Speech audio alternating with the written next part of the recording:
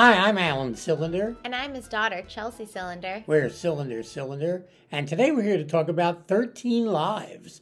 This is a new film by Ron Howard, starring Viggo Mortensen, Colin Farrell, and Joel Edgerton. Yes, this is a true story. It is about the 2018 news story where 13 Thai children were trapped in a cave for nearly two weeks. And it was about the rescue mission, how there were volunteers and divers and rescue teams from 17 different countries that came to the aid of these children trapped in the cave. It was actually a soccer team and their coach, so there was one adult in there too. This is actually the best thing Ron Howard's done in ages.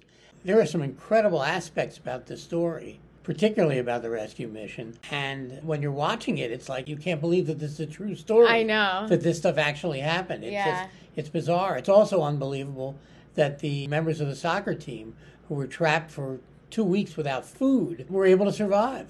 Really is unbelievable. It's a good story. It's a It is really good definitely story. a good true story. Yeah. And the three principals are very good in the film also. Definitely. Particularly Colin Farrell, I thought. Joel Edgerton also very good. Yeah, I agree. This movie's really compelling from start to finish. It's a great story, and I thought the film was well done.